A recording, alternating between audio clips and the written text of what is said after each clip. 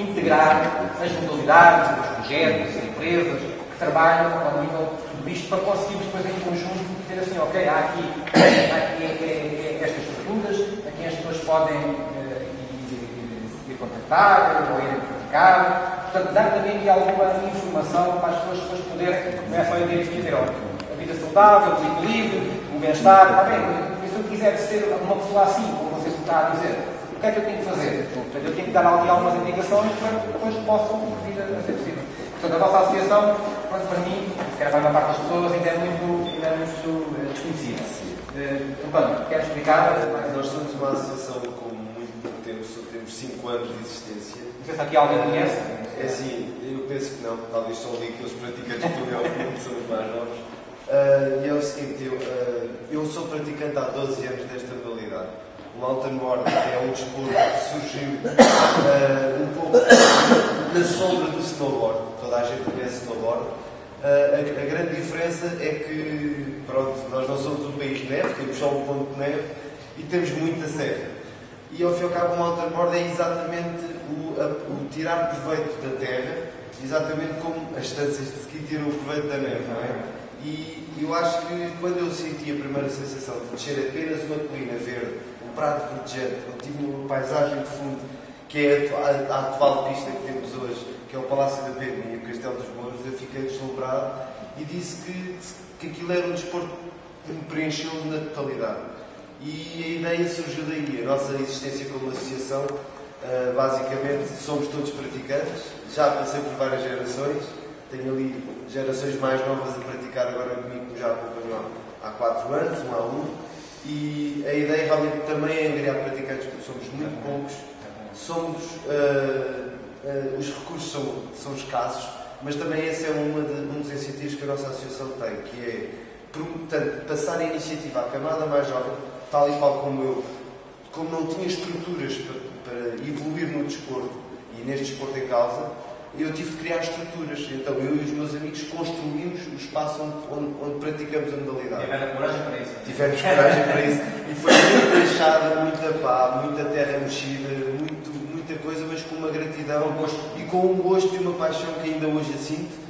Uh, ainda ontem estou aqui todo desgastado fisicamente, tive um dia extraordinário, não consigo, todos os dias tenho, todas as semanas tenho que lá praticar e tento passar essa mensagem a eles que não só é importante praticarmos, como preservarmos o espaço e o meio onde estamos envolvidos, porque podemos tirar a paisagem à nossa volta, desfrutar de uma descida, quando, quando já se termina eh, a prancha é, é um espetáculo, porque desfrutamos da, da vista, como também depois há outra vertente mais radical do desporto, para os mais ousados, onde também aqui, ao fim e ao cabo, o primeiro projeto que eu tive com esta associação foi, para mim, foi uma luz, foi com um projeto de, de jovens problemáticos de um bairro uh, social que também não, não infelizmente tinha hoje as suas dificuldades, os seus problemas e eu encarei-me ali com uma situação onde adorei uh, aquela questão uh, de alguma agressividade, expor a, tanto, de, de, desfazer ali a agressividade em, em adrenalina e, e, e, expor isso com as quedas, que damos muito impacto, é evidente. Temos imensas quedas na aprendizagem, mas tudo isso faz parte do crescimento percurso de um, de um praticante nesta modalidade, sendo ela totalmente desconhecida em Portugal, eu acho que é, é um espetáculo, porque há vários, há vários uh, fatores que levam a pessoa a poder praticar a modalidade sem, sem qualquer recurso. Portanto, qualquer pessoa de todas as idades consegue praticar. E haver algumas qualidades para praticar a é, é assim, convém ter coragem. Acima de ter coragem, porque é, é, óbvio, não é? Mas tal e qual como as pessoas sabem na neve, uma pessoa se der uma queda, também dói. Não, não é aquilo que as pessoas pensam. Portanto, na Terra, devidamente protegidos, com os equipamentos de segurança adequados, nós temos, e, e aquelas primeiras lições, que é aquilo que a gente tenta promover, passar a nossa experiência diretamente, sem qualquer recurso financeiro, apenas pelo gosto da partilha, uh, passa exatamente por a pessoa desfrutar de uma descida, aquele prazer da paisagem. da paisagem e depois também do outro lado, realmente do lado mais radical, que também tem estimulado muito a camada mais jovem. O desporto radical em Portugal teve muito parado durante muitos anos. E finalmente, tanto o surf, já foi falado, e o bodyboard, como o skate, não foi falado aqui, mas são desportos muito, muito crescentes agora cá em Portugal. E que é ótimo, temos a ter imensos atletas. Cá em Portugal o mountain board não tem grande visão e, e é engraçado como lá fora já existem campeonatos, provas, uh, com um nível de desporto tendo acompanhado muito o snowboard, não é? Em termos de visão, se olharmos para o snowboard é um bocado pormos a mesma coisa na terra, em termos de saltos, manobras, essas coisas todas. Portanto, é muito semelhante. Uh, daí, cá em Portugal não haver, a nossa iniciativa é exatamente tentar proporcionar novos praticantes e tudo isso sempre com uma base muito ecológica e respeitar isso sempre no meio da gestão. Exato, é isso que eu ia perguntar, é, tem um respeito muito grande pela natureza.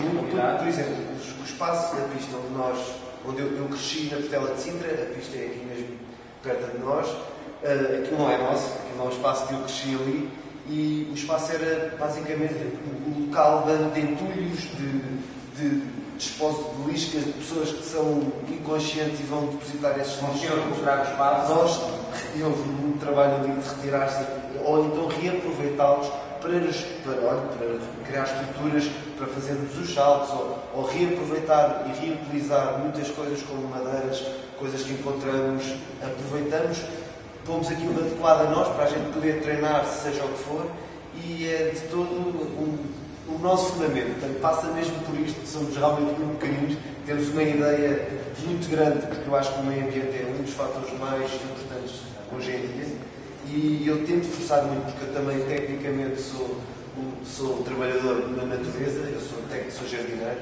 profissão, e faz com que também leve esse espírito para eles sempre com a mesma mensagem. E, claro, a saúde está sempre ligado. António, é, fiquei contente com a vossa presença, com, uma atividade que eu desconhecia, já fico mais rico. Estamos sempre a aprender todos os dias, estamos sempre a aprender e é evidente que nós iremos também divulgar o mais possível e, quem sabe, eh, a gente um dia não tenha aqui outra conversa e vocês já tenham uma atividade ainda muito mais desenvolvida. Eu agradeço. Uma das coisas que, que, eu, que eu falei sempre e está empregado, e para terminar isto foi, foi, foi chave de ouro, que é nós temos respeito sempre pelo, pelo meio em que estamos envolvidos quer seja o ambiente, quer seja a água, quer seja o mar, a floresta, a terra, seja qual for, o património, e vocês estão aqui numa, numa, zona que tem tudo isso, tem património, tem serra, tem mar, é, penso que devem ter pessoas também muito boas, mas, pronto, mas de facto é, eu penso que vocês têm aqui as condições ideais. E também fico com uma ideia. Todos os eventos que aqui tivemos, na partilha, acho que foi um reconhecimento bem, bem bem dado uh, e que foi, foi, merecido e que se, concluiu que vocês tiveram a coragem para tirar uh, partido e para tirar partido das potencialidades, nomeadamente naturais, que o Conselho tem. Isso é fundamental, porque uh, nós podemos ter uma riqueza à nossa frente, seja o qual for, e não tirarmos partido dela. E aquilo que vocês estão aqui tentando fazer é, pronto, tirar partido das condições que têm e terem o respeito pelo aquilo, pelo aquilo que têm nessas condições. E eu acho que isso é fundamental. Uh, portanto, da minha parte, quero-vos agradecer. Uh, agora vou tirar agora aqui a falta de coragem, todos pediam é para, para, para virem ter aqui comigo, os que foram conhecidos. Eh, muito obrigado a todos e, e a falar para vocês.